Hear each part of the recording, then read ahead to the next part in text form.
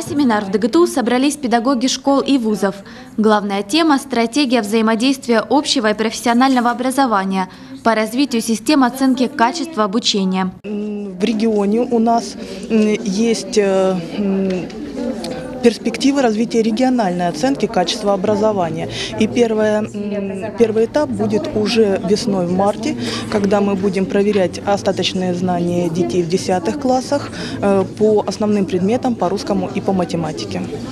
Вузы заинтересованы в том, чтобы к ним приходили подготовленные студенты какими будут э, наши будущие э, абитуриенты, э, как, как качественно, как, какими конкурентоспособны. Эти вопросы сейчас интересуют и высшие учебные заведения.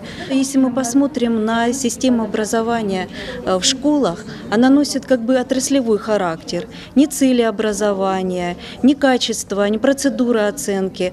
Они не согласуются ни с работодателями, ни с педагогами, ни с выпускниками. То есть отсутствует система независимой оценки. И в данном случае вузы, которые э, направлены на получение качественного абитуриента, очень в этом заинтересованы. На семинаре рассказали об ошибках преподавателей во время подготовки к ЕГЭ. Как избежать их в этом году? Почему нельзя пугать учеников сдачи экзаменов? И насколько важна работа психологов? У нас очень много направлений работы, и, конечно, одно из них – это социально-психологическая адаптация наших первокурсников. То есть адаптационный период достаточно сложный, очень много напряженности, тревожности, стрессовых состояний. И вот наша задача – его облегчить. Такие педагогические мастерские помогают учителям узнать больше о довузовской подготовке школьников. Вот я уже вижу, что сегодня присутствуют здесь у нас руководители, как структуры э, отдел довузовской подготовки, в которой сейчас уже учатся более 300 школьников города Ростова, так и технического лицея и гимназии ДГТУ. Все мы собрались, конечно, для того, чтобы получить ту информацию, которая будет необходима для улучшения качества образовательного процесса.